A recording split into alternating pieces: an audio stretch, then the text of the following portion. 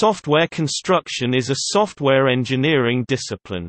It is the detailed creation of working meaningful software through a combination of coding, verification, unit testing, integration testing, and debugging. It is linked to all the other software engineering disciplines, most strongly to software design and software testing.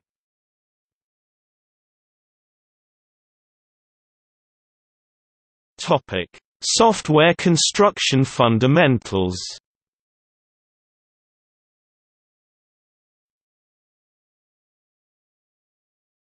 Topic: Minimizing complexity. The need to reduce complexity is mainly driven by limited ability of most people to hold complex structures and information in their working memories. Reduced complexity is achieved through emphasizing the creation of code that is simple and readable rather than clever. Minimizing complexity is accomplished through making use of standards, and through numerous specific techniques in coding. It is also supported by the construction-focused quality techniques.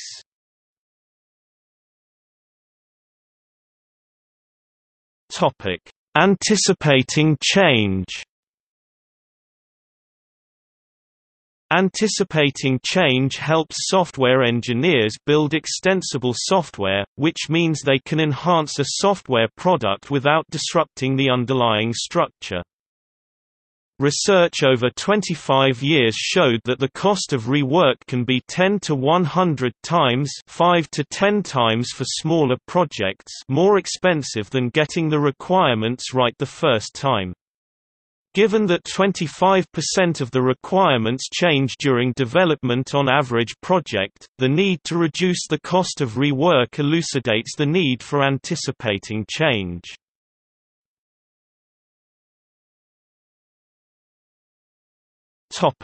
Constructing for verification Constructing for verification means building software in such a way that faults can be ferreted out readily by the software engineers writing the software, as well as during independent testing and operational activities. Specific techniques that support constructing for verification include following coding standards to support code reviews, unit testing, organizing code to support automated testing, and restricted use of complex or hard-to-understand language structures, among others.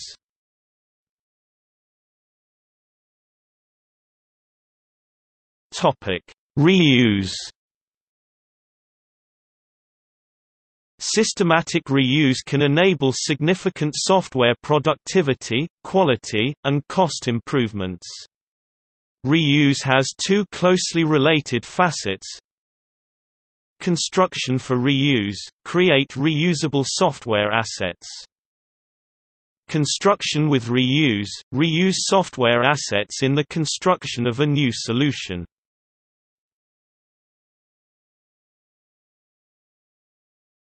Topic: Standards in construction. Standards, whether external created by international organizations or internal created at the corporate level, that directly affect construction issues include Communication methods, such as standards for document formats and contents. Programming languages Coding standards Platforms Tools, such as diagrammatic standards for notations like UML.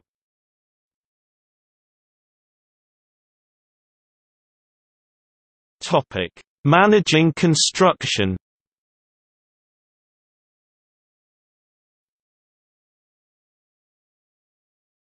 Topic: Construction models. Numerous models have been created to develop software, some of which emphasize construction more than others. Some models are more linear from the construction point of view, such as the waterfall and staged delivery life cycle models. These models treat construction as an activity which occurs only after significant prerequisite work has been completed, including detailed requirements work, extensive design work, and detailed planning. Other models are more iterative, such as evolutionary prototyping, extreme programming, and Scrum. These approaches tend to treat construction as an activity that occurs concurrently with other software development activities, including requirements, design, and planning, or overlaps them.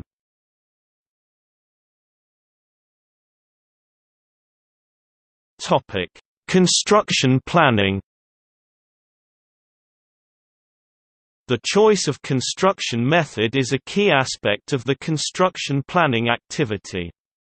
The choice of construction method affects the extent to which construction prerequisites e.g. requirements analysis, software design, etc. are performed, the order in which they are performed, and the degree to which they are expected to be completed before construction work begins. Construction planning also defines the order in which components are created and integrated, the software quality management processes, the allocation of task assignments to specific software engineers, and the other tasks, according to the chosen method.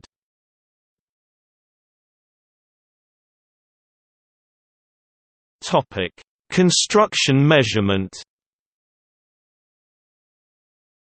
Numerous construction activities and artifacts can be measured, including code developed, code modified, code reused, code destroyed, code complexity, code inspection statistics, fault fix and fault find rates, effort, and scheduling. These measurements can be useful for purposes of managing construction, ensuring quality during construction, improving the construction process, as well as for other reasons.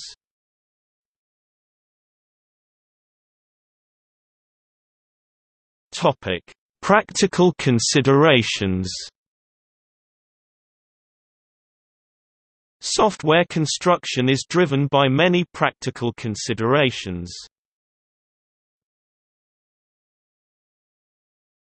Topic: Construction design. In order to account for the unanticipated gaps in the software design, during software construction some design modifications must be made on a smaller or larger scale to flesh out details of the software design. Low fanout is one of the design characteristics found to be beneficial by researchers. Information hiding proved to be a useful design technique in large programs that made them easier to modify by a factor of four.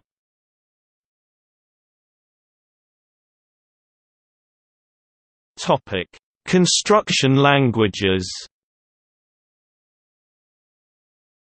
Construction languages include all forms of communication by which a human can specify an executable problem solution to a computer. They include configuration languages, toolkit languages, and programming languages, Configuration languages are languages in which software engineers choose from a limited set of predefined options to create new or custom software installations. Toolkit languages are used to build applications out of toolkits and are more complex than configuration languages. Scripting languages are kinds of application programming languages that support scripts which are often interpreted rather than compiled.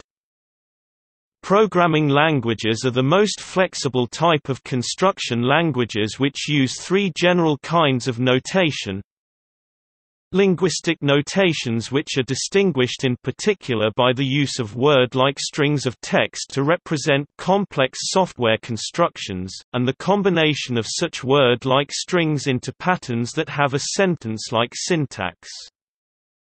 Formal notations which rely less on intuitive, everyday meanings of words and text strings and more on definitions backed up by precise, unambiguous, and formal or mathematical definitions. Visual notations which rely much less on the text-oriented notations of both linguistic and formal construction, and instead rely on direct visual interpretation and placement of visual entities that represent the underlying software. Programmers working in a language they have used for three years or more are about 30% more productive than programmers with equivalent experience who are new to a language. High-level languages such as C++, Java, Smalltalk, and Visual Basic yield 5 to 15 times better productivity, reliability, simplicity, and comprehensibility than low-level languages such as assembly and C. Equivalent code has been shown to need fewer lines to be implemented in high-level languages than in lower-level languages.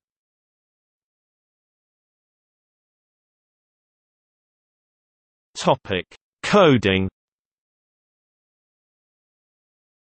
The following considerations apply to the software construction coding activity. Techniques for creating understandable source code, including naming and source code layout. One study showed that the effort required to debug a program is minimized when the variable's names are between 10 and 16 characters. Use of classes, enumerated types, variables, named constants, and other similar entities. The following considerations should be noted. A study done by NASA showed that the putting the code into well-factored classes can double the code reusability compared to the code developed using functional design. One experiment showed that designs which access arrays sequentially, rather than randomly, result in fewer variables and fewer variable references. Use of control structures. The following considerations should be noted.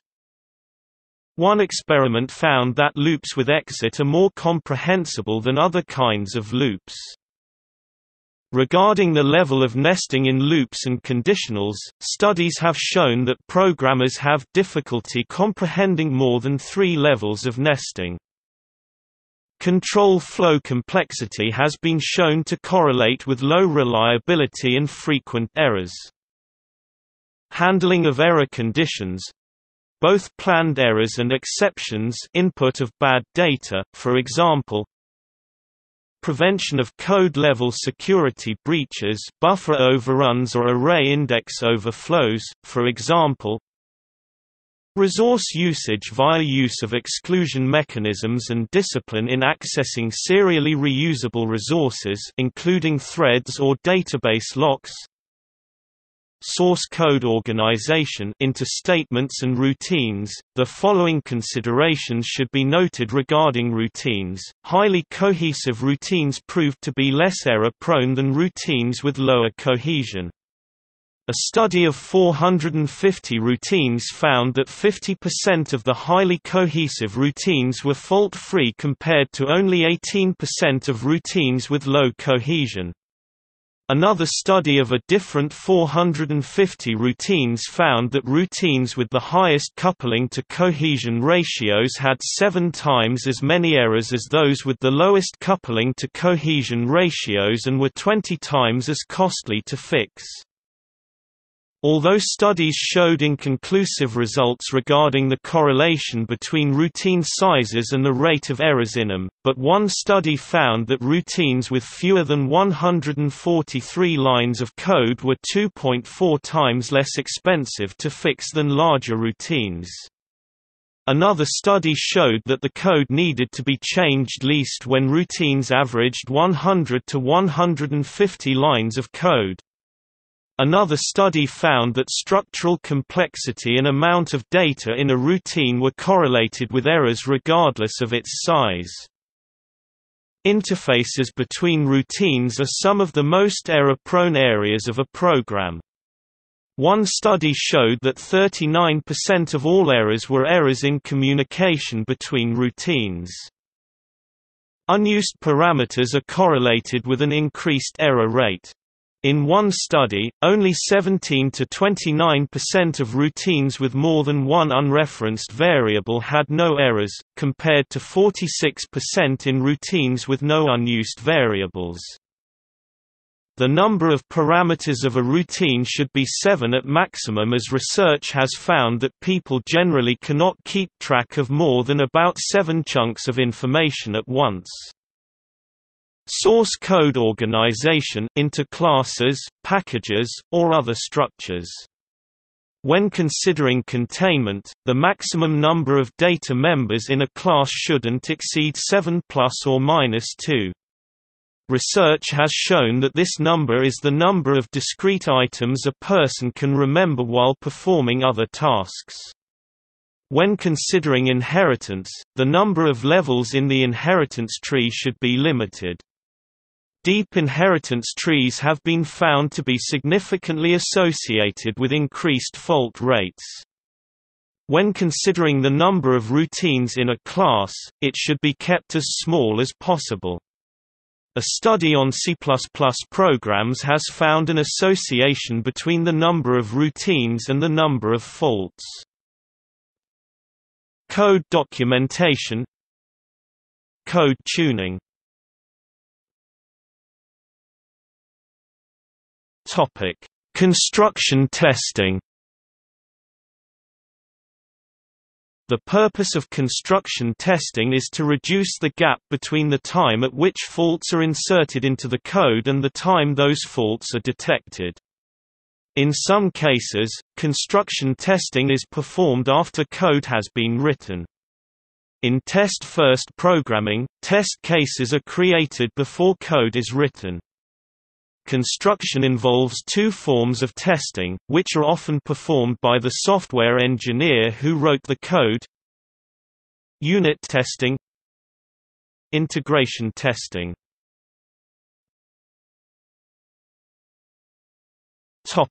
Reuse. Implementing software reuse entails more than creating and using libraries of assets. It requires formalizing the practice of reuse by integrating reuse processes and activities into the software life cycle. The tasks related to reuse in software construction during coding and testing are the selection of the reusable units, databases, test procedures, or test data. The evaluation of code or test reusability the reporting of reuse information on new code, test procedures, or test data.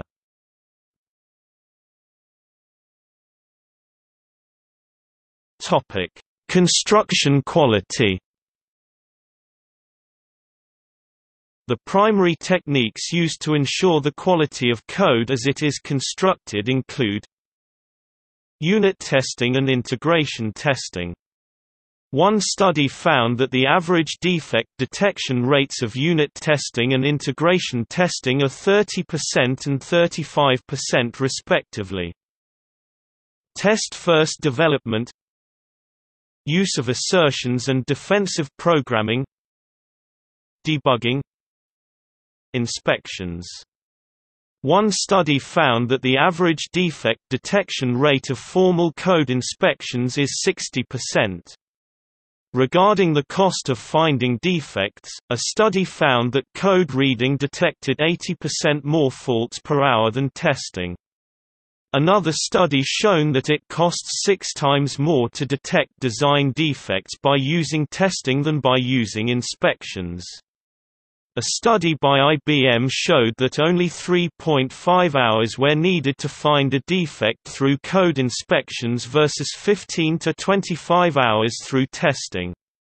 Microsoft has found that it takes 3 hours to find and fix a defect by using code inspections and 12 hours to find and fix a defect by using testing. In a 700,000 lines program, it was reported that code reviews were several times as cost-effective as testing. Studies found that inspections result in 20% to 30% fewer defects per 1,000 lines of code than less formal review practices and that they increase productivity by about 20%. Formal inspections will usually take 10% to 15% of the project budget and will reduce overall project cost. Researchers found that having more than two to three reviewers on a formal inspection doesn't increase the number of defects found, although the results seem to vary depending on the kind of material being inspected. Technical reviews one study found that the average defect detection rates of informal code reviews and desk checking are 25% and 40% respectively. Walkthroughs were found to have defect detection rate of 20% to 40%, but were found also to be expensive especially when project pressures increase. Code reading was found by NASA to detect 3.3 defects per hour of effort versus 1.8 defects per hour for testing. It also finds 20% to 60% more errors over the life of the project than different kinds of testing. A study of 13 reviews about review meetings, found that 90% of the defects were found in preparation for the review meeting while only around 10% were found during the meeting.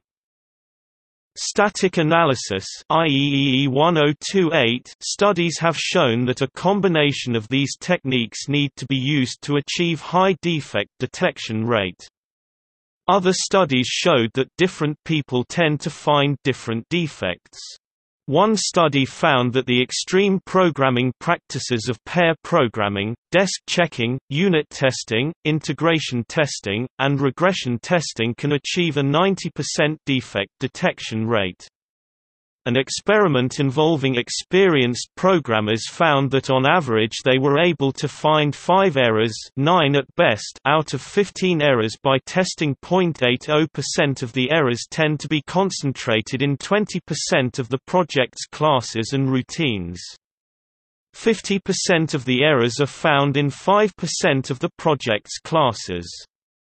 IBM was able to reduce the customer-reported defects by a factor of 10 to 1 and to reduce their maintenance budget by 45% in its IMS system by repairing or rewriting only 31 out of 425 classes.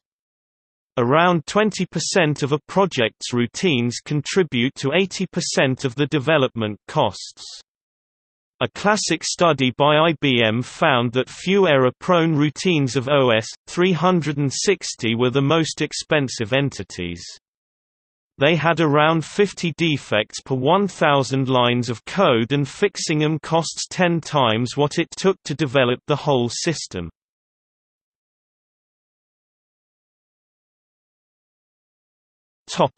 Integration A key activity during construction is the integration of separately constructed routines, classes, components, and subsystems. In addition, a particular software system may need to be integrated with other software or hardware systems. Concerns related to construction integration include planning the sequence in which components will be integrated, creating scaffolding to support interim versions of the software, determining the degree of testing and quality work performed on components before they are integrated, and determining points in the project at which interim versions of the software are tested.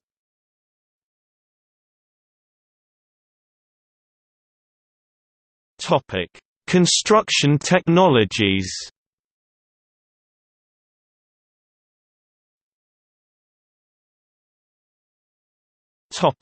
Object-oriented runtime issues.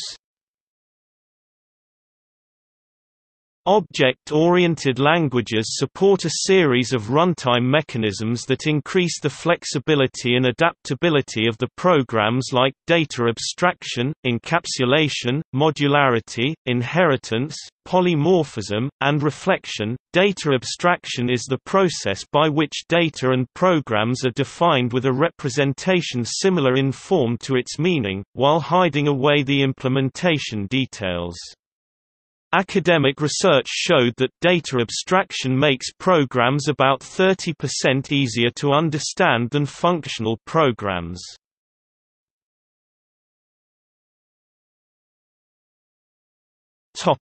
Assertions, design by contract, and defensive programming.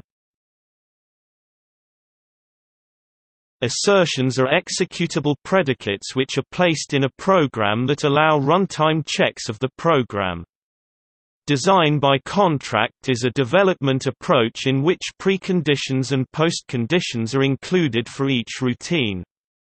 Defensive programming is the protection a routine from being broken by invalid inputs.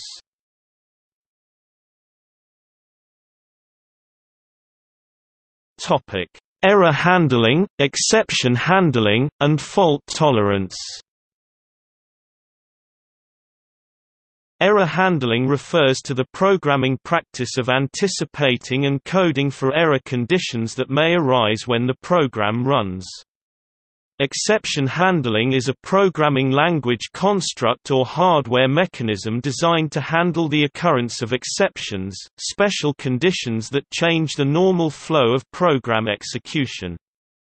Fault tolerance is a collection of techniques that increase software reliability by detecting errors and then recovering from them if possible or containing their effects if recovery is not possible.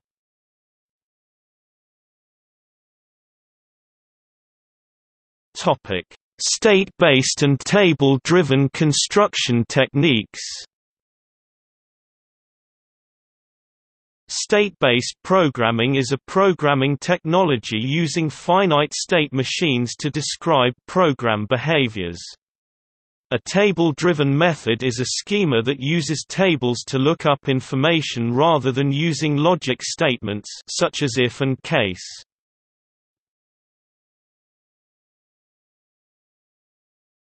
Topic: Runtime configuration and internationalization. Runtime configuration is a technique that binds variable values and program settings when the program is running, usually by updating and reading configuration files in a just-in-time mode.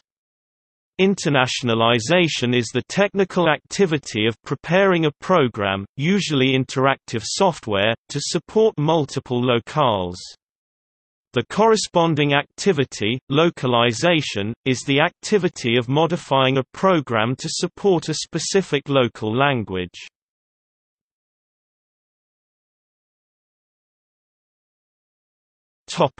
See also Software engineering Software development Notes